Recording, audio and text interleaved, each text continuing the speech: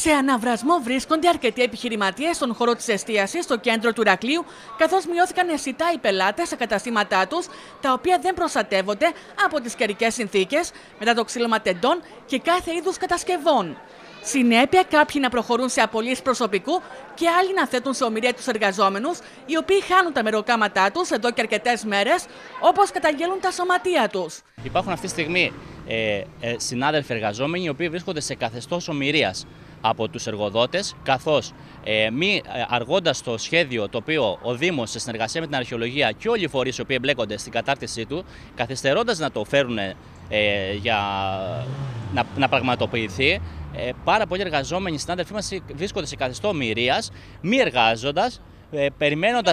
Ναι, κάθονται σπίτι περιμένοντας την κλίση του εργοδότη. Δεν είναι λογικό, κυρία Μακάκη, όταν απ' έξω δεν μπορούν να λειτουργήσουν οι επιχειρήσεις που είναι ο κύριος όγκος του καταστήματος ότι ε, ε, προβαίνουμε σε, στις απολύσεις και σταματάμε το εργατικό δυναμικό του μαγαζιού μας διότι δεν μπορούμε να πληρώνουμε τόσα μεροκάματα όταν ο ωφέλιμος χώρος σε μια επιχείρηση είναι πάρα πολύ μικρός.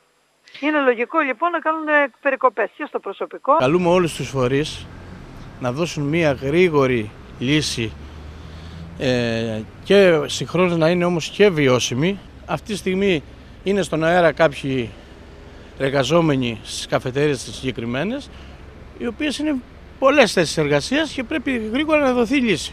Σύμφωνα με τη Μαρία Ντονακάκη, ακόμα δεν έχουν δοθεί απαντήσεις από τους αρμόδιους γύρω από τις προδιαγραφές των κατασκευών στα καταστήματά τους, με συνέπεια να υπάρχει δυσαρέσκεια στον κλάδο δεν, δεν μπορούμε να τους προστατεύσουμε. Υπάρχουν οι ομπρέλες και γύρω-γύρω τα μαγαζιά είναι ανοιχτά. Ούτε με σόμπες μπορεί να κάτσουν αυτή τη στιγμή όταν φυσάει και περιμένουν να δουν τελικά τι είναι αυτό που θα καθορίσει την κατασκευή για να προχωρήσουν στην αντικατάσταση και να βγάλουμε όλα αυτά που ούτε και μας αρέσουν, τα νεμοθωράγια, τα στέγαστρα τα άσχημα, αυτοί οι μουσαμάδες οι λεγόμενοι που σε κανέναν δεν αρέσουν και να κάνουμε όλοι μαζί μια ομοιόμορφη κατασκευή για να έχουμε μια καλή πόλη.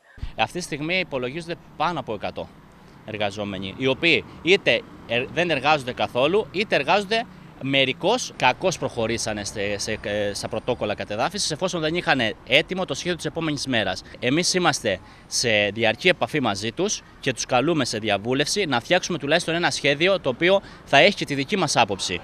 Με φόντο την εργασιακή ανασφάλεια που επικρατεί στο προσωπικό επιχειρήσεων επιστημισμού στο κέντρο του Ρακλείου, υπήρξε πρόσφατα συνάντηση συνδικαλιστών με τον πρόεδρο του Εργατικού Κέντρου.